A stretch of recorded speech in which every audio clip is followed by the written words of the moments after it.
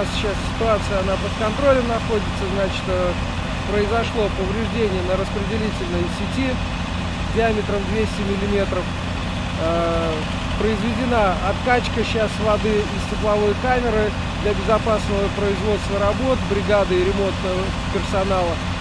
И персонал допущен, сейчас дефект устраняется, завершение устранения дефекта планируем до 12 часов и плавное заполнение сети уже для того, чтобы подать теплоноситель потребителю. Задействованы все необходимые для этого силы.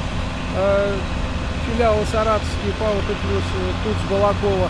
Значит, и ремонтные, и эксплуатационные для того, чтобы после завершения ремонтной операции оперативно воздействовать и подать теплоноситель трубопровод и жителям города Балакова.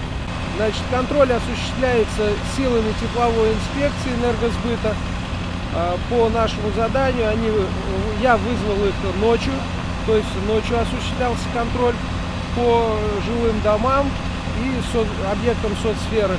Также сейчас проводится совместно с прокуратурой контроль температуры наружного воздуха в помещениях объектов соцсферы. Температура внутри помещения Э, вот мне доложили час назад, не снижена ниже нормативных. Мы ведем мониторинг постоянно. В случае э, необходимости, значит, будем э, связываться с главврачом и принимать меры действенные для того, чтобы обеспечить температуру внутри помещения соответствующую.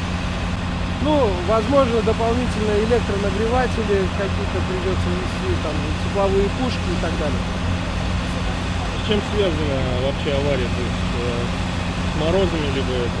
А, эффект, э, ну, прогнозно мы понимаем, что произошел в связи с переменой температурного режима.